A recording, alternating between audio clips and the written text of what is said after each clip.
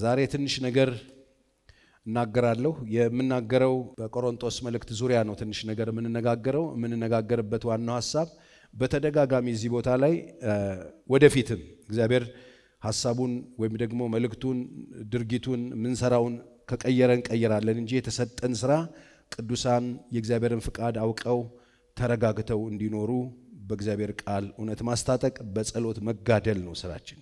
ስለዚህ አገልግሎታችንን በዚህ መነጽር ነው የምታዩት ማለት ነው እና መልእክት ጠፍቶብን አይደለም። መልእክት ጠፍቶብን ወይም ሰዎችን ደስ የሚያሰኝ ነገር ጉባኤን የሚሰበስብ ነገር ጠፍቶብን አይደለም። ገበያው ምን እንደሚፈልግ ጠፍቶብን አይደለም። ሰው ምን እየፈለገ እንደሆነ ጠፍቶብን አይደለም።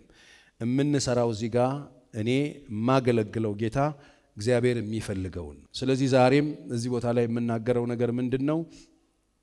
መጽሐፍ ቅዱስ በቆሮንቶስ ቤተ ክርስቲያን ውስጥ ተከስቶ የነበረው ችግርና የእግዚአብሔር ቃል በቆሮንቶስ የነበሩትን ማህበረ ምዕመናን መካከል ተፈጥሮ የነበረውን ችግር ታውቃላችሁ። እንግዲህ ስለ ቆሮንቶስ ቤተ ክርስቲያን ብዙ ነገር አልናገርም፣ ግን ኃይለኛ የኃጢአት ከተማ እንደነበረች፣ የወደብ ከተማ እንደነበረች፣ በጣም ብዙ ነጋዴዎች እየመጡ የሚወስቡባት፣ የዝሙትን በጣም የሚያስፋፉበት፣ የተለያየ ቆሻሻ ተግባር የሚፈጸምበት አካባቢ ነበረ። እንደውም ወደ ቆሮንጦስ እንሂድና እንቆርጥስ ይሉ ነበረ። ለመቆሮንጦስ ነበር ለክፋት ነበረ ሰዎች ይሄዱ የነበረው። እዛች ቦታ ላይ የተመሰረታ የነበረችው ቤተክርስቲያን ውስጥ የሚመጡ ሰዎች እነዚሁ ሰዎች ናቸው። በቆሮንጦስ የነበሩ ሰዎች ሊቆሮንጦሱ የሚመጡ ሰዎች ቆሮንጦስ ታውቃላችሁ፣ እንደሱ የሚመጡ ሰዎች የነበሩበት ቦታ ነው እና እዛ ቦታ ላይ ቤተክርስቲያን ተከፍቷል። ቤተክርስቲያን አለች። ቤተክርስቲያን ውስጥ ደግሞ እንደዚህ አይነት ማህበረሰብ ከዛ አይነት ማህበረሰብ እንዲህ አይነት ልምምድ እንደዚህ አይነት ነገር እያየ የመጣ ማህበረሰብ በጣም በኃጢአት የምትታወቅ የግሪክ የፍቅርና የዝሙት አማልክቶች በጣም ብዙ ሴት እንትኖች የዝሙት መሪዎች ወይም የዝሙት ቄሳውስቶች በጣም በመቶዎች የሚቆጠሩ የነበሩበት በቤት ውስጥ በዝሙት የሚመለክበት በየአደባባዩ ዝሙት የሚሰራበት በጣም ዘግናኝ የሆነ ተግባር የሚፈጸምበት ጊዜና ወቅት ነበረ። በቆሮንቶስ ቤተክርስቲያን ተተክላ ስራ ስትጀምር እኔ በቆሮንቶስ በጣም ስማ ምናምን የምንለው አይደለም። አሁን ካለው ጋር እኔ ብዙ ተለያይቶ አላየሁትኝም ተለያይቶ አላየሁትኝም። ቤተክርስቲያን አካባቢም በስፋት አሁን የሚታየው ችግር ይሄው ችግር ነው። በቆሮንቶስ ለምሳሌ አንድ ቆሮንቶስ ምዕራፍ አምስት ላይ በአጭር ቃል በእናንተ መካከል ዝሙት አለ ብሎ ነው የሚናገረው። ለቤተክርስቲያኒቱ የሚነግራት ይሄንን ነው። አንደኛ ያሉበት ማህበረሰብ እንደዚህ አይነት በቃ በከፍተኛ ሁኔታ የዝሙት ኢንዱስትሪው በጣም ተስፋፍቶ የነበረበት ጊዜ ስለነበረ እርኩሰት በከፍተኛ ሁኔታ ነበረ እና እንደዚህ አይነት እርኩሰት ውስጥ ደግሞ ተጨመላልቆ የሚመጣ ማህበረሰብ በአንድ ጊዜ ጠርቶ አይጠራም ጠርቶ አይጠራም። ለዚህም ነው እኛ ቤተ ክርስቲያን እኔ በዚህ አገልግሎት ውስጥ ሳገለግል ጠርቶ ስለማይጠራ በየጊዜው መታጠብ አለበት፣ በየጊዜው መሰራት አለበት፣ በየጊዜው ሰው የእግዚአብሔርን ሀሳብ መስማት አለበት።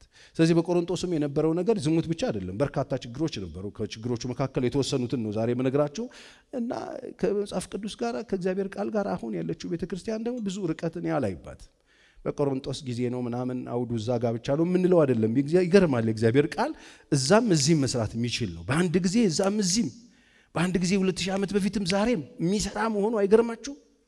በጣም ነው የሚገርም እና እይታው ጳውሎስ እይታውና የተናገራቸው በዛች ቤተክርስቲያን የነበሩት ችግሮች ሰፊ እንደሆኑ እናያለን። ከምናያቸው ችግሮች መካከል በርካታ ችግሮች ናቸው ያሉት።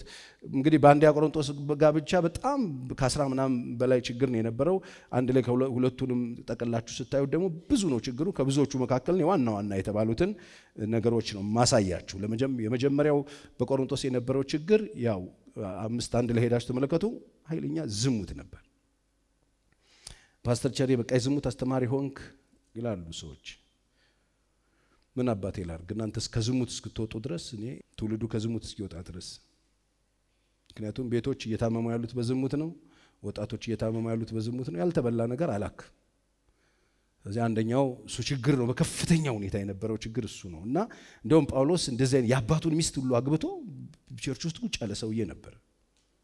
በጣም የሚዘገንን ሰውዬ አለ። በቃ የአባቱን እንጀራ እናቱን አግብቶ church በስነ ስርዓት ቁጭ ያለ ሰው ነበር። ስለዚህ አንዱ ችግር ይሄ ችግር ነው። የዛሬዋን ቤተክርስቲያን አንዱ ችግር ይሄ ይኸው። ሌላው በምዕመናን መካከል መከፋፈሎች ነበሩ። ቡድን ነበረ። ሰዎች ይቧደኑና የሆነ group group ሰርተው ይቀመጡ ነበር። ይሄው በቆሮንቶስ ቤተ ክርስቲያን አንደኛው ለቄሌዮጳ ቤት ሰዎች ነገሩኝ ብሎ ጳውሎስ የሚጽፈው መልእክት ላይ ምዕራፍ ሶስት ላይ ሄዳችሁ ስትመለከቱ ይሄንን ነው የሚያወራው። ምዕራፍ ሶስት ላይ ቶሎ ቶሎ ብዬ ብዙ ጥቅስ ነው ዛሬ የምናየው። እዛው ከቆሮንቶስ አልወጣም፣ ግን ያሉትን ነገሮች ምዕራፍ ሶስት ከአራት ቁጥር ጀምራችሁ ብትመለከቱ የሚናገረው ይሄንኑ ነው። እኔ ጳውሎስ ነኝ፣ ሁለተኛው እኔ አጵሎስ ነኝ ቢል ሰዎች ብቻ መሆናቸው አይደለም እያለ አንዳንዱ እኔ የክርስቶስ ነኝ የኬፋ ነኝ ብሎ ተከፋፍለው ቡድን ሰርተው አንድ አካል ናት የተባለችው ቤተ ክርስቲያን ውስጥ ኃይለኛ ፓርቲ ነበር። በቤተ ክርስቲያን ያለው ችግር ያኔም አሁንም ከዚ የተለየ አይደለም። ሰዎች አንዱን ክርስቶስ ውስጥ መተን አካል እንሆናለን ብለው ከመጡ በኋላ ፓርቲ ቡድን ሲፈጥሩ እናያለን። አንዱ የቤተ ክርስቲያኒቱ ችግር ይሄ ነበረ። እኔ ኬፋ ነኝ፣ እኔ ጳውሎስ ነኝ። ይሄ እኛ የማንን በቃ የክርስቶስ የክርስቶስ ነንም ያሉ ሰዎች ነበሩ እኮ ግን እነሱንም appreciate አይደለም ያደረገው። ይሄ የሚያሳየው ይሄ ቡድንተኝነቱ የክርስቶስ ነን ካልን አይገነጥለንም። ክርስቶስ ገንጣይ አይደለም። ክርስቶስ አካታች ነው። ሁሉንም ነው የሚያቅፈው። ክርስቶስ የሁሉም ነው። እስቲ አሜን። እሱ ሁሉ በሁሉ ነው። የሁሉም ጌታ ነው። ስለዚህ ይሄ ችግር ነበረ፣ ቤተክርስቲያኒቱ ላይ ይሄ ችግር ነበረ እና እርስ በርስ መቀናናት ነበረ፣ ቅናት ነበረ ቤተክርስቲያን ውስጥ። አሁን እኔ ይሄ እግዚአብሔር ቃል ነው። አሁንም ከዚህ የተለየ ችግር አለው የቤተክርስቲያን ብትሉኝ የለም፣ መቀናናት ነበረ። እዛው ምዕራፍ 3 ቁጥር 3 ላይ ሄዳችሁ ስትመለከቱ እንደዚህ ይናገራል።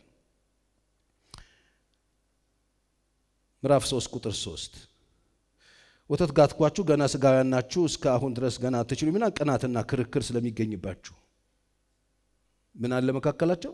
ቅናትና ክርክር ስለሚገኝባችሁ ስጋውያን መሆናችሁ አይደለም። ምን ማለት ነው? ቤተ ክርስቲያን መንፈሳዊ ሰዎች እንድንሆን ስንጠበቅ ስጋዊነት በጣም ሲያደላ ቅናት ይመጣል። ቅናት የምንም ችግር አይደል፣ የስጋዊነት ችግር ነው። ሰው ስጋዊነቱ በጣም እየጨመረ ሲመጣ ምቀኝነትን መጎናጸፉ አይቀርም። ስለዚህ ቤተ ክርስቲያኒቱ ላይ ይሄ ችግር ነበረ፣ ምቀኝነት ነበረ ምቀኝነት ነበር። ቤተ ክርስቲያን እንግዲህ አንዳንድ ጊዜ በፍቅር እንድንኖር፣ በአንድነት እንድንኖር፣ በህብረት እንድንኖር፣ ጌታን እያመለክ እንድንኖር፣ እንደ አካል እንድንደጋገፍ፣ እንደ አካል እንደ ብልት እንድንተያይ ተጠርተን እርስ በርስ እግር በእጅ ሲቀና ማለት እጅ በእግር ሲቀና ተመልከቱ። አይን በአፍንጫ ሲቀና፣ ጆሮ እንዲህ ሊሆን አይገባም።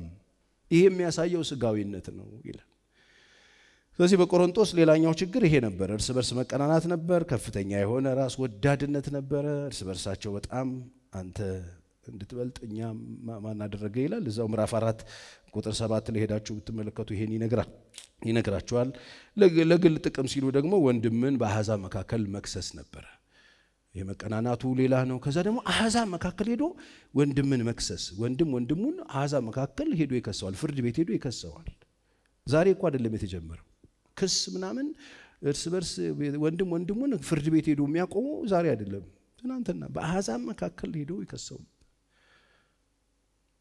ቤተ ክርስቲያን እንደዚህ ትሆናለች። አንዳንዴ አይገርማቸው የእግዚአብሔር ልጅ የኢየሱስ ክርስቶስ ደም የፈሰሰበት ሰዎች በክርስቶስ ኢየሱስ የመስቀል ጩኸት ተጠርተው የተሰበሰቡበት በክርስቶስ ኢየሱስ ሞትና ትንሣኤ ሕይወት ያገኙ ሰዎች እንደ አካል በክርስቶስ ቤተ ክርስቲያን ላይ ተገጥመው ሊኖሩ የተጠሩ ሰዎች አካሉ ተገንጥሎ ሄዶ በአሕዛብ መካከል ክስ መስርቶ ወንድሙን ፍርድ ቤት ሊያቆመው የሚችልበት እድል ነበረ። ይሄ ችግር ነበር። ምንድን ነው ፓስተር ቸር የምትነግረን ካላችሁ፣ ይሄ ችግር ዛሬም አለ። ምንድን ነው መፍትሄው? ነገሩን ጉልጉል አድርጎ አውጥቶ መድኃኒቱ መስጠት ነው። የሚዋጠውን መዋጥ ነው። የምንወጋው መወጋት ነው። ይሄ ችግር የምን ችግር ነው ሲባል የስጋዊነት ችግር ነው። ሰዎች መንፈሳዊ ነገራቸው ተራቁተው በስጋ የቱንም ያክል ያደጉ ቢመስል የበለጸጉ ቢመስል ከዚህ ውጭ አይወጡ። ዞሮ ዞሮ ባልዳይፐር ሆነው ቁጭ ነው የሚሉት። የመንፈሳዊ ነገር ችግር ነው። መንፈሳዊ ነገር በጣም ወሳኝ ነው። ብዙ ጊዜ እዚህ ጋር ተናግር ያለው five excellency ላይ አንደኛው ሰው በጣም excel ላደረገ ስኬታማ ነው የሚባለው መንፈሳዊ ሕይወቱ ጤነኛ ሲሆን፣ ከእግዚአብሔር ጋር ጤነኛ ከሆናችሁ ከሌላ ሰው ጋር ጤነኛ ትሆናላችሁ። መጀመሪያ መንፈሳዊ ነገራችሁን ጠብቁ። ከምናችሁም በላይ ከራሳችሁ በላይ ከቅንድባችሁ በላይ ከጥፍራችሁ በላይ ከሰውነታችሁ በላይ ከልብሳችሁ በላይ ከቤታችሁ ዕቃ በላይ ከመኪናችሁ በላይ አለን ከምትሉት ነገር በላይ ለመንፈሳዊ ሕይወታችሁ ቦታ ስጡ። መንፈሳዊ ሕይወታችሁን ጠብቁ። መንፈሳዊ ሕይወታችሁን ያገኛችሁት ኢየሱስ ሞቶ ነው። እሱን አክብሩና ያዙ። ለእሱ ቦታ ስጡ። እሱን ነገ ተጠንቀቁና በጨለማ እንደተያዘ መብራት ያዙት። የመጀመሪያው እሱ ነው። እሱ ጋር መሰንጠቅ ከገጠማችሁ ሌላው በሙሉ crack ያደርጋል። ከዛ በኋላ ለራሳችሁ ቦታ የላችሁ። ከዛ በኋላ ለትዳራችሁ ቦታ የላችሁ። ከዛ በኋላ ለማህበራዊ ኑሯችሁ ቦታ የላችሁ። ከዛ በኋላ ገንዘብ ሲመጣ abuse ነው የምታደርጉት፣ አመፅ ነው የምትሰሩበት። መንፈሳዊ ህይወት በጣም መንፈሳዊ ህይወት ጋር ችግር ሲፈጠር በጣም ብዙ በመሰቃቀል ይፈጠራል። በቆሮንጦስ የነበረው ይሄ ህፃናት ስለሆናችሁ ነው እንደ ህፃን ወተት ጋትኳችሁ ይላቸው። አሁንም ድረስ አትችሉም አላቸው። የተጠራችሁት መንፈሳዊ እንድትሆኑ ተጠርቶ ሰው ብቻ ናችኋል። ሰው ብቻ መሆናችኋል። እርስ በርስ ትቀናናላችኋል። ሰው ብቻ ናችሁ። ሰው ብቻ ስትሆኑ እንደሱ ነው የምትሆኑ። እግዚአብሔር ከዚህ ያውጣል። እስቲ በደንብ አሜን በሉ። ልመርቃችሁ፣ ከዚህ ያውጣችሁ። የሚያሳድገው እግዚአብሔር ያገኛችሁ።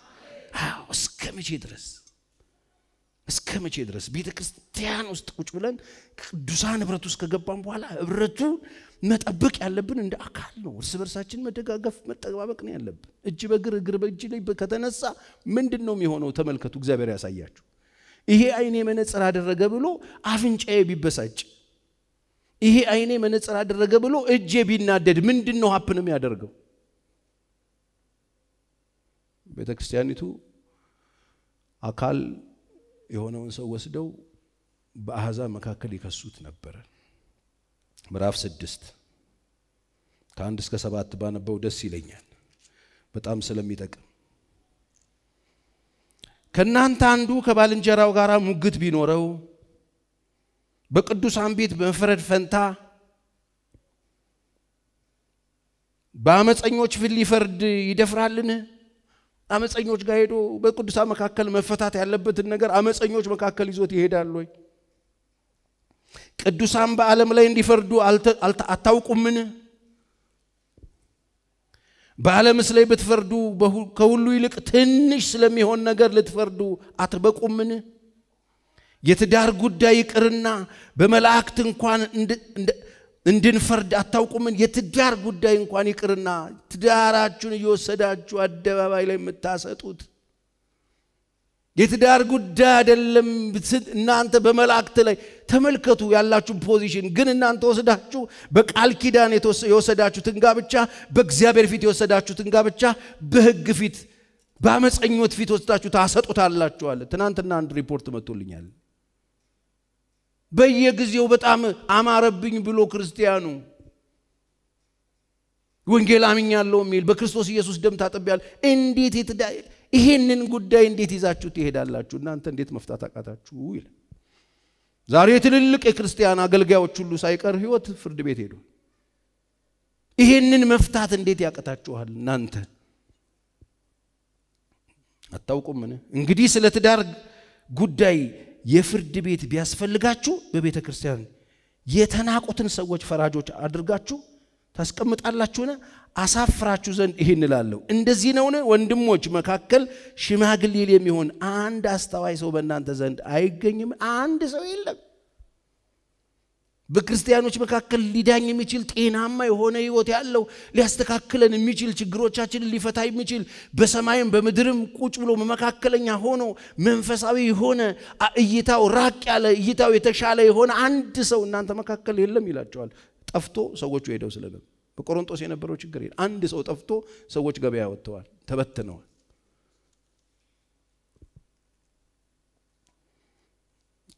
ምን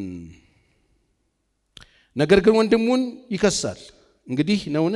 ወንድሞች መካከል ሽማግሌ የሚሆን አንድ አስተዋይ ሰው ከእናንተ ዘንድ አይገኝምን? ነገር ግን ወንድም ወንድሙን ይከሳል። ይህም በማያምኑ ፊት ይደረጋልን? እርስ በርስ ክርስቲያኖች ተካሰው የማያምኑ መካከል ሄደው ይሄንን ያደርጋሉ ወይ? ቆሮንቶስ ይሄ ችግር ነበር። እንግዲህ ፈጽሞ የእርስ በርስ ሙግት እንዳለባችሁ በእናንተ በእናንተ ጉለት ነው። እርስ በርስ ችግር ከተፈጠረ የእናንተ ችግር ነው፣ የራሳችሁ ችግር ነው። የእናንተ ችግር እንደሆነ እመኑ፣ አድሜት አድርጉ። የእናንተ ችግር ነው። ብትበደሉ አይሻልምን? ብትታለሉስ አይሻልምን? ነገር ግን እናንተ ትበድላላችሁ፣ ታታልላላችሁ፣ ያውም ወንድሞቻችሁን ብሎ ቁጭ ከመበደል መበደል ነው የሚሻለው። ከማታለል መታለል ነው የሚሻለው። ይሄ ነው የሚሻለው። ማን ነቄ ነኝ ምናምን አይባልም። ችግር ካለ እዛው ፍቱ፣ አደባባይ ላይ አትሰጡ። የቤተ ክርስቲያኒቷ ችግር ይሄ ነው። ዛሬም የቤተ ክርስቲያን ችግር ከዚህ ያለፈ ነው ወይ? አሁን ከዚህ ውጭ ምን እንማርኛ? ከዚህ ውጭስ ቤተ ክርስቲያን መማር አለባት ወይ? እስቲ አእምሮ ካላችሁ መንፈሳዊ ከሆናችሁ ቁጭ በሉና እኔ የምለውን ነገር ያዙትና ከዚህ ውጭ ነው ወይ ችግራችን? ብትታለሉ አይሻልም ወይ? ብትበደሉ አይሻልም ወይ? ምን ማለቱ ነው? መበደል ነው የሚሻለው፣ ወጥቶ ከመሰጣት ወጥቶ ከመካሰስ።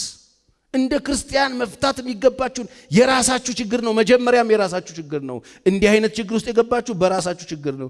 እርስ በርሳችሁ ሙግት ካላችሁ የራሳችሁ ችግር ነው። ሙግቱን የፈጠራችሁት አንዳንዶቻችሁ ክርስቲያኖች ዲል አታደርጉም፣ ስትሰሩ አትፈራረሙም። ስታገባ ተፈራርመ ማለት ነው። አቅፈ የምተኛውን ፈርመ አግብተ ስትሰራ አትፈራረምም። ስታወራ ስታደርግ deal ስታደርግ clear የሆነ ነገር የለም። expectation ህ ነው ችግር ውስጥ ውስጡ የሚከታችሁ የእናንተ ችግር አይደለም ወይ? ስለዚህ ቤተ ክርስቲያን በዚህ ችግር ውስጥ ነበረች።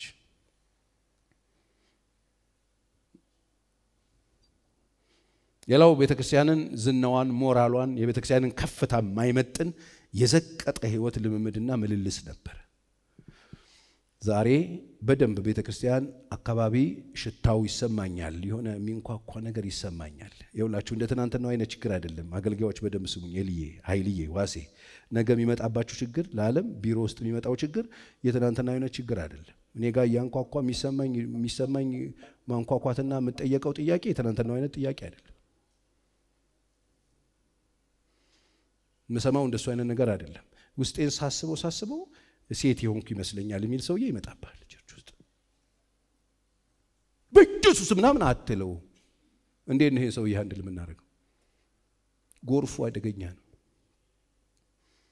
ቤተ ክርስቲያንን በጣም በሚገርም ሁኔታ morally አፈር ድሜ ሊያገባ የሚፈልግ ነገር ይሰማኛል። እኔ ፓስተር ቸሬ እያለቀሰች እናት ልጄ ጓደኛዋን ይዛ መጣች አለችኝ። የአስራ ስድስት ዓመት ልጇን ሴት ጓደኛዋን ምንድን ነው ስላት፣ በቃ ጓደኛዬ ናት ሚስቴ። ሴት እኮ ነው። የነገ የቤተ ክርስቲያን ጥያቄ መልኩን እየቀየረ ነው። ይኸውላችሁ የሆነ ቦታ ላይ ዝፍዝፍ ብላችሁ የተቀመጣችሁ ሰዎች ተነሱ። ነገ የልጆቻችሁ ጥያቄ የእኛ ልጆች የኔ እንኳን ያደጉ ልጆች የጠየቁኝ አይነት ጥያቄ አይደለም የምትጠየቁት። ይሄ ይዞባቸው የመጣው በጣም ብዙ ጣጣ አለ። የምትሰሙኝ ከሆነ እንደ ክርስቲያን ቆም በሉና ስሙኝ። እንደ ክርስቲያን ጸልዩ። እንደ ክርስቲያን ራሳችሁን ጠብቁ። ቤተ ክርስቲያን አደገኛ ችግር ውስጥ የሚከታት አውሎ ንፋስ እንደ አውራቂስ ማ ምንም አትሆንም አትነካ አትበሉ አትበሉ። እንደ መቶ አለቃው ምንም አንሆንም ችግር የለውም ልከኛ የደቡብ ንፋስ ሲያይ ችግር የለውም አውራቂስ መጣ ብትንትናቸውን አወጡ። ተው እያተባለ ጳውሎስ እናንተ ሰዎች መጀመሪያ የነገርኳችሁን ሰምታችሁኝ ቢሆን ኖሮ አለ። እኔ ምላችሁን ስሙኝ፣ ግድ የላችሁ እንደዚህ ተሰብስበን ወንበር ላይ ቁጭ ብሎ እንዳማረባችሁ ስሙኝ። እኔን ቤተ ክርስቲያንን ዝናዋን፣ ክብሯን፣ ሞራሏን የነበራትን ተጽዕኖ ዜሮ ሊያገባ የሚችል ነገር አይታያችሁም ወይ? አይታያችሁም ወይ? በጣም በሚዘገንን ሁኔታ በራሳችን አገልጋዮች የምንነወርበት አደባባይ ላይ በድፍረት የምንነወርበት የምናፍርበት አንገታችን የሚሰበርበት አንገታችንን ዝቅ አድርገን የምንሄድበት የምናፍርበት ነገር እየመጣ ነው። ሞራሊ ቤተ ክርስቲያንን አፈር እያገባ ያለ በጣም እየጎዳ ያለ የቤተ ክርስቲያንን ሞራል የሚያራግፍ ነገር እየታየ ነው። እኔ ይሸተኛል፣ እኔ ይሰማኛል። ስለዚህ በደንብ በማስተዋል ብታዩት ጥሩ ነው። ስድስት ዘጠኝ ላይ ምዕራፍ ስድስት ቁጥር ዘጠኝ ላንብብላችሁ። ወይስ ከአመፀኞች የእግዚአብሔርን መንግሥት እንዳይወርሱ አታውቁምን? ማለት ይሄ ያለማወቅ ይመስላል። አታውቁምን? አትሳቱ። ሴሰኞች ቢሆኑ ሞልተው ነበር ሴሰኞች ወይም ጣዖትን የሚያመልኩ ወይም አመንዝሮች ወይም ቀላጮች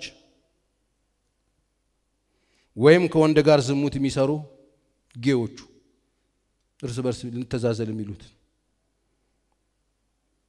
ወይም ሌቦች ወይም ገንዘብን የሚመኙ ወይም ሰካሮች ወይም ተሳዳቢዎች ወይም ነጣቂዎች የእግዚአብሔርን መንግሥት አይወርሱም። ከእናንተ አንዳንዶቹ እንደነዚህ ነበራችሁ በፊት ነገር ግን በጌታ በኢየሱስ ክርስቶስ ስም በአምላካችን መንፈስ ታጥባችኋል፣ ተቀድሳችሁማል፣ ጸድቃችሁማል ጸድቃችኋል። በፊት እንደዚህ ነበራችሁ፣ አሁን እንደዚህ ነው። ምን እያለ ነው? አሁን አይሁን፣ አሁን አይሁን። ሞራሊ ይሄ ይሄ ይሄ ነገር አሁን ብቅ ብቅ እያለ ነው። እኔ ቁጭ ብዬ ስለምሰማ አልፈርድም ሰው ላይ እንዴት እንደሚወጡ እግዚአብሔር ሆይ እያልኩ እየጠየቅኩ እንዴት ነው እነዚህን ሰዎች የምናድነው? እንዴት ነው እየመጣብን ያለውን አውራቂ ስም እንቋቋሙ? ስብርብራችንን ሊያወጣ አፋችንን ሊያዘጋን የምንናገረው ነገር ሊያሳጣን የሚችል ነገር እየመጣ ነው። የትናንትናው አይነት በሽታ አይደለም ወገኖቼ፣ ግድ የላችሁም ስሙኝ።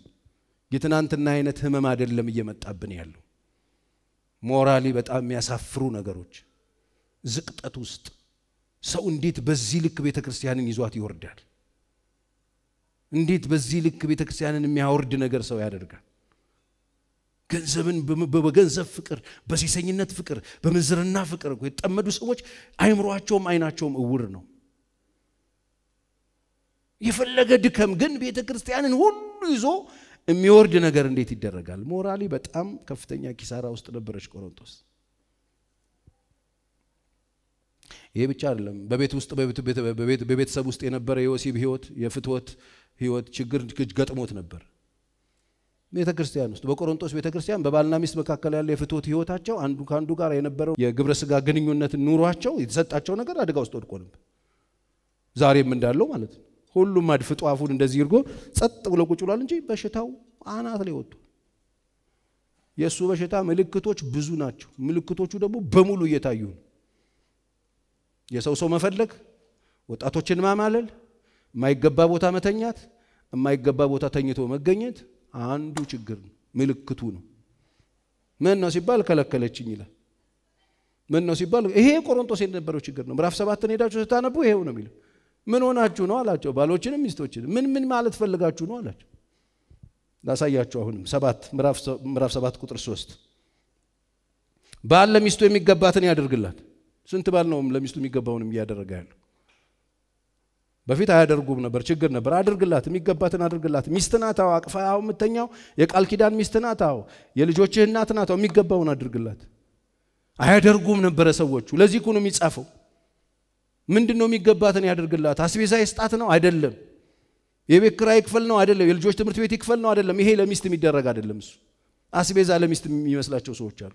ባል ለሚስቱ የሚገባትን ያደርግላት። ስሙ በደንብ የሚገባትን ያደርግላት። እንዲሁም ደግሞ ሚስቶች ለባሏ ይልና ሚስት በገዛ ስጋዋ ላይ ስልጣን የላትም። በቃ ቀጥታ ሲፈታው ይሄን ስልጣን የላትም። ያላት ስልጣን የላትም። ስልጣን ለባሏ ነው እንጂ እንዲሁ ደግሞ ባለ በገዛ ስጋው ላይ ስልጣን የለውም። ስልጣን ለሚስቱ ነው እንጂ ስልጣን አላት በስጋ ላይ በስጋዋ ላይ ስልጣን አለው ነው እንጂ ለጸሎት ትተጉ ዘንድ ተስማምታችሁ ለጊዜው ካልሆነ ለጊዜው ካልሆነ በቀር እርስ በርሳችሁ አትከላከሉ። ምን ፍትወት፣ ክብረ ስጋ። አንዳንድ ሰው ቤት ቸርዬ አሁን ስምታ ድፍን ሁለት ዓመታችን ይሉኛል። አንድ ድፍን አንድ ዓመት ይሄን ችግር ማን እንዲያክማችሁ ስድስት ወራችን። ባልና ሚስት? በቃ። አለም በጸጋው። ይሄ እግዚአብሔር ቃል ነው። ለጊዜው ለጸሎት እንኳን ቢሆን ለጊዜው ካልሆነ በስተቀር። ተነጋግራችሁ deal አድርጋችሁ ተስማምታችሁ በቃ it's okay ብላችሁ ሁለታችሁም አምናችሁበት ካልሆነ በስተቀር ተጋብቶ አይቻልም። የጠና ችግር ካለ ታከሙ። የምክር አገልግሎት ከሆነ ወረፋ ያዙና ነው። አይቻልም። በቆሮንቶስ የነበረው ችግር ይሄ አንዱ። አሁን ከዚህ ውጪ ምን እንስጣችሁ? ከዚህ ውጪ ለቤቶች ምንድን ነው የሚሰጠው? ከዚህ እኮ አምልከው ሲሄዱ በጣም እጆቻቸውን አንስተው ሃሌሉያ ሲሉ አሪፍ ነው ይመስሉት። እቤት ግን የሉም። ባለጋራ ተዘጋግቶ እንደ ባዳ እንደ ባለጋራ የሚኖሩ በርካታ ሰዎች እኮ ናቸው ያሉት። እናንተ ሰዎች ክርስቲያኖች፣ እዚህም እዛም ያላችሁ የምትሰሙ አይቻልም። ለጊዜው ካልሆነ ለጸሎቱ ጊዜ ተስማምተው ካልሆን አ ጸሎት ላይ ነው ያለሁት አሁን አርባ ቀን እኔ ምሽግ እገባለሁ እንዳትነካኝ አይቻልም። ተመካከራችሁ ተፈቃቅዳችሁ ተስማምታችሁ ካልሆነ አይቻልም። የሚገባትን አድርግ የሚገባውን አድርግ ይህ ነው የሚለው አይገርምም? ይሄ በሽታ ነበር። በምን ተፈወሰ? የሚገባውን አድርጊ፣ የሚገባውን አድርግ አድርግ ብሎ እግዚአብሔር ቃል። እግዚአብሔር ማስተዋል ይስጥ። በቆሮንቶስ ሌላኛው ችግር ባለፈው አስተምር ያለው ይሄ ከማያምኑ ጋር ያለ ድብልቅ ነገር። የሚያምን ከማያምን ጋራ የማይሆን ወዳጅነት ማይናምን ነገር ማድረግ ስፔሻሊ ጋብቻን ነገር እንደዚህ በጣም መሰረታዊ የሆኑ ነገሮች ላይ ብርሃን ከጨለማ ጋር ምን ንብረት አለው? አንደኛ ቆሮንቶስ ሄዳችሁ ተመልከቱ። ምዕራፍ ስድስት እሱን ነው የሚያወራው ከ14 ቁጥር ጀምሮ ብርሃን በጨለማ ከጨለማ ምን ንብረት አለው? ምን መጋጠም አለው? ቤልሆር ከኢየሱስ ጋር ምን መጋጠም አለው? አይቻልም ስለዚህ አንዱ ችግር የቤተ ክርስቲያን ችግር ይሄ ነው። አሁን በጣም በሚገርም ሁኔታ ብዙ አማኞች የማያምኑ boyfriend አላቸው። የማያምኑ ክርስቲያኖች የሚያምኑ ክርስቲያኖች የማያምኑ ልጆች ጓደኞች አሉ ይዘዋል። እዚህም ውስጥ አላችሁ አላችሁ ከማያምኑ ሰዎች ጋር አትጠመዱ ካለ አንዱ በሽታ የቤተ ክርስቲያኖቱ ችግር ይሄ ዛሬም የቤተ ክርስቲያን ችግር ይኸው። ስለዚህ ምንድን ነው መልሱ? አትጠመዱ። አይጠመዳለሁ ካልክ መንገዱን ጨርቅ ያደርግልህ። እንደ እግዚአብሔር ቃል መካር የለም። ይሄን ምክር ካልሰማኸው መንገዱ ይድላ ይመች። አሳዶ የሚመልስህ አንቆ አንተን አንጠልጥሎ የሚመጣ የሚመልስ መልአክ የለም። ፈቃድ ስላለ ነፃነት ስላለ ምርጫ ስላለሽ እግዚአብሔር ምርጫሽን ያከብራል። ይኸው ነው። ሌላው የጌታ እራት ጉዳይ ችግር ነበረበት። በጌታ እራት ጉዳይ ሰዎቹ የጌታ እራት ትርጉሙ ጠፍቶባቸዋል። መጥተው ዝም ብለው እንደ ቁርስ እንደ ምሳ እየተቧጨቁ እየበሉት የሄዱ ስለነበረ እሱንም ክሊር አደረገላቸው። የጌታ እራትን ጉዳይ እዛው 11 ላይ ሁል ጊዜ እዚህ ቦታ ላይ የጌታ እራት ስንወስድ የምናነበው ክፍል ላይ ሄዱና በተለይ ቁጥር 27 ጀምሮ ያለውን ሀሳብ እናነባለን። ምንድን ነው የሚለው? ይሄ ምሳሌ ነው። ይህንኩ ስጋዬን ብሉ፣ ይሄ ለአዲስ ኪዳን ለእናንተ የሚቆረስ ስጋዬ ነው። ይህንኩ ደሜን ጠጡ፣ ለእናንተ አዲስ ኪዳን የሚሆነው ደሜ ነው ብሎ የሰጣቸውን ሰዎቹ በማይገባ ሁኔታ ሳይገባቸውም ሳይገባቸውም እንደ ጠዋት ቁርስ እየመጡ ቁርጥፍ እያደረጉ አፋቸውን እየጠረጉ ይሄዳሉ። ይሄንን ማድረግ የሚያመጣው consequence አለ።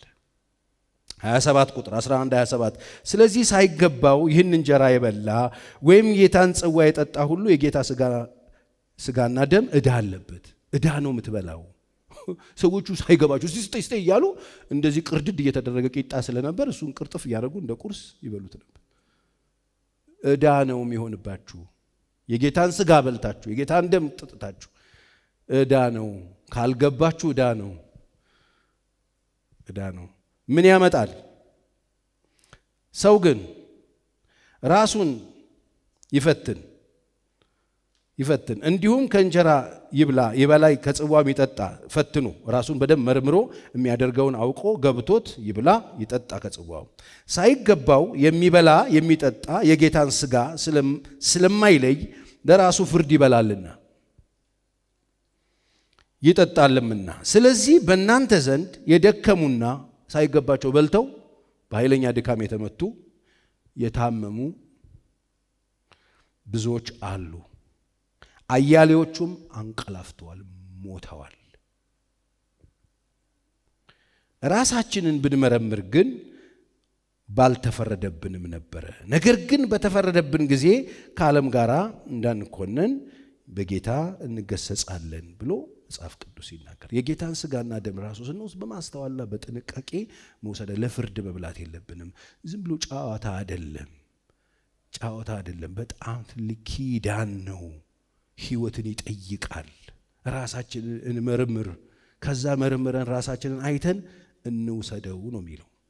የጌታ እራትም ችግር ስለነበረ የጣዖት የተሰዋም ችግር ነበረ። ከጊዜ አንጻር አላወራም። በጣም ብዙ ብዙ ችግሮች አሉ። ሌላው የመንፈሳዊ ስጦታዎች ችግር ነበረ። የጸጋ ስጦታ ችግር ነበረ። ጸጋ ስጦታ ተቀብለው አቢዩዝ ያደረጉት ነበር። እንዴት እንደሚጠቀሙበት አያውቁም። የጸጋ ስጦታ ጉዳይ ችግር ነበረ። አንደኛ ቆሮንቶስ ምዕራፍ 12 ሄዳችሁ ተመልከቱ። ከቁጥር አራት ጀምሮ የጸጋ ስጦታ ልዩ ልዩ ነው፣ መንፈስ ግን አንድ ነው። ጸጋ ስጦታ ልዩ ልዩ ነው፣ አንድ አይነት አይደለም። ልዩ ልዩ ነው። የጸጋ ስጦታ ችግር ነበረ። የጸጋ ስጦታ አንዱ ችግር ነበረ እና ሲያብራራቸው ልዩ ልዩ ነው፣ ልዩ ልዩ ነው። መንፈስ ግን አንድ ነው። አገልግሎት ልዩ ልዩ ነው፣ አንድ አይነት አገልግሎት የለም። ጌታም አንድ ነው። አሰራር ልዩ ልዩ ነው። አሰራር አንድ አይነት አይደለም። ሁሉም አንድ አይነት አሰራር ይስራ ብላችሁ እንዳትፈልጉ። አንድ አይነት አሰራር የለም።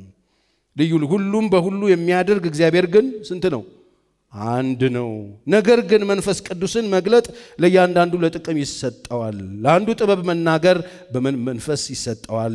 ለአንዱም በዚያው መንፈስ እውቀትን መናገር ይሰጠዋል። ለአንዱም በዚያው መንፈስ እምነትን፣ ለአንዱም በአንዱ መንፈስ የመፈወስ ስጦታ፣ ለአንዱም ታምራት ማድረግ፣ ለአንዱም ትንቢት መናገር፣ ለአንዱም መናፍስትን መለየት፣ ለአንዱም በልዩ አይነት ልሳን መናገር፣ ለአንዱም በልሳኖች የተናገረው መተርጎም ይሰጠዋል። ይህ ሁሉ ግን ያ አንዱ መንፈስ እንደሚፈቅድ ለእያንዳንዱ ለብቻው እያካፈለ ያደርጋል።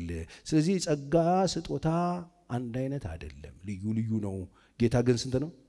መንፈስ ግን ስንት ነው? ስለዚህ አንድ አይነት አይደለም። ለአንዱ መፈወስ ተሰጥቶታል፣ ለአንዱ ኃይል አገልግሎት ተሰጥቶታል። አንዱ መናፍስት ይለያል፣ አንዱ ትንቢት ይናገራል። ልዩ ልዩ ነው። አሁን የጸጋ ስጦታ ራሱ ችግር ውስጥ ነበረ። እዚህ ጋር ይሄንን አብራራላቸው። አንዱ መንፈስ አንዱ ጌታ ነው የሚሰራው። ጸጋ ስጦታው የተለያየ ነው። አንድ አይነት እንደ እንትን አይነት አይደለህም ብሎ ሰውን ከሰው አይወዳደርም አይወዳደርም። ያሳዝኑኛል። እኔ አሁን በጸጋ እናገለግላለን የሚሉ ሰዎች ሲወዳደሩ አንዱ ከአንዱ ለመብለጥ አንዱ ከአንዱ ጋር ሲወዳደር ያሳዝናል። እንደዚህ የሚባል ጸጋ ስጦታ የለም። የተሰጣችሁን ነገር ወቁትና በሱ ስሩ። አካል አንድ ነው። ወርዳችሁ ስታየው ይሄዱ ነው የሚናገረው። አንድ አካል ነው ያለው። በአካሉ ላይ ስንት ብልቶች አሉ? ብዙ። አንዱ አንዱን አታስፈልገኝም ማለት አይችልም። የተለያዩ አካላችን ላይ ያሉት ብልቶች ስራቸው የተለያየ ነው። ስራቸው የተለያየ ኩላሊታችን የሚሰራው ጉበታችን የሚሰራው ጨጓራችን የሚሰራው እያንዳንዱ የሰውነታችን ክፍል ያሉት ነገሮች የሚሰሩት ሁሉ የተለያየ ነው። ግን ስንት ነው ሰውየው? አንድ። ይሄ ችግር ነበረ። ዛሬ ይሄ ችግር አለ የለ እኮ። ይሄን ችግር የፈታው ምን አድርጎ ነው? ልዩ ልዩ መሆኑን እወቁት። በትዳር ውስጥ ያለውን ችግር የፈታው አትከላከሉ የፈታው የወንድሞች ከወንድሞች ጋር ያለን ጠብ የፈታው በመንፈሳዊ መንገድ በመፍታት ክስ ፍርድ ቤት ምናምን አትሂዱ፣ ለአሕዛብ ራሳችሁን አሳልፋችሁ አትስጡ። የሚፈታበት መንገድ ይሄ ነው። እርስ በርሳችሁ ችግር ቢኖራችሁ ፍቱት፣ ፍቱት። መለያየት ምናምን አይጠቅማችሁም። አንድ ጌታ ስለሆነ በአንዱ አካል ላይ ብልቶች ሆነን እንድንኖር ስለተጠራን ቡድኑ አይጠቅመንም። ጳውሎስ ነው አጵሎስ፣ ማን የሞተላችሁ አለ። ማን የሞተው? አንድ ጌታ አይደለም ወይ? እኔ እንትና ተከለ እንትና ጠጣ የሚያሳድግ ማን ነዋል? እግዚአብሔር ነዋል። ወገኖቼ የሚጠቅመው የሚጠቅመው ትክክለኛውና ጤናማውን ትምህርት መያዝ ነው። ጤናማው ትምህርት ምንድን ነው? በክርስቶስ ኢየሱስ ከዳናችሁ በኋላ የኢየሱስ ከሆናችሁ በኋላ የምትሆኑት ምን መሰላችሁ? ምረጡና ህብረት ግጠሙ። ህብረት ይኖራችሁ፣ ቤተ ክርስቲያን ትኖራችሁ። ከዛ እዛ ህብረት ውስጥ ገብታችሁ እንደ አካል ነው የምትኖሩት እንደ አካል ነው። አያስፈልገኝ የሚባል አካል የለም። ሁሉም ነው የሚያስፈልግ። እስቲ በሰውነታችሁ ውስጥ ያለ ይህ አይጠቅመኝም ቸርዬ እንዲወጣ እፈልጋለሁ የምትሉት አለ? የማትፈልጉት አለ? መጽሐፍ ቅዱስ እንደውም የምናፍርበትን እጥፍ ሁለት ክብር እናለብሰዋለን ይላል። የማናወጣው ሰው ጋር የማናሳየውን ራሱ ሁለት እናለብሰዋለን አለ። ወገኖቼ ክርስትና አደጋ ውስጥ እየገባ ነው።